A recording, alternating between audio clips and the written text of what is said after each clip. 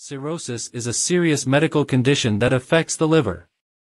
It occurs when healthy liver tissue is gradually replaced by scar tissue, leading to loss of liver function over time.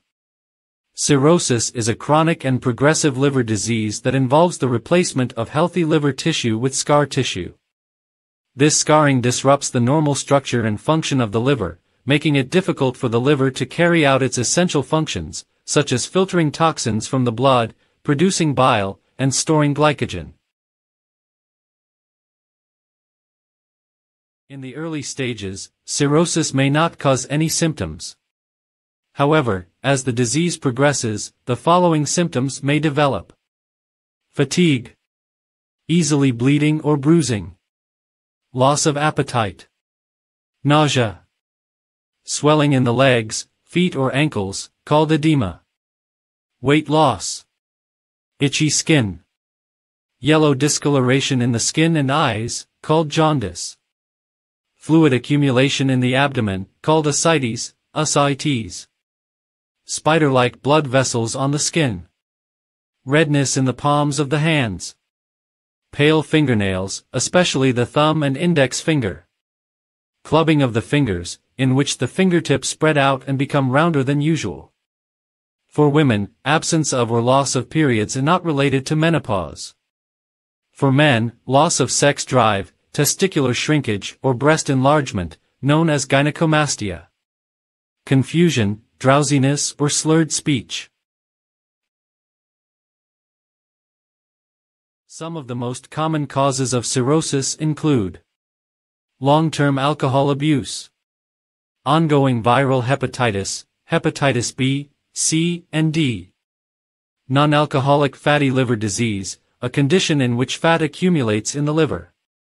Hemochromatosis, a condition that causes iron buildup in the body. Autoimmune hepatitis, which is a liver disease caused by the body's immune system.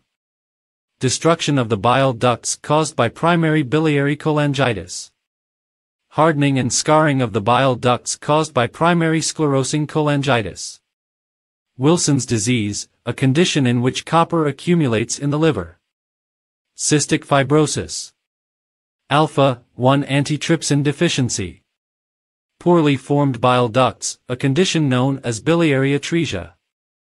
Inherited disorders of sugar metabolism, such as galactosemia or glycogen storage disease.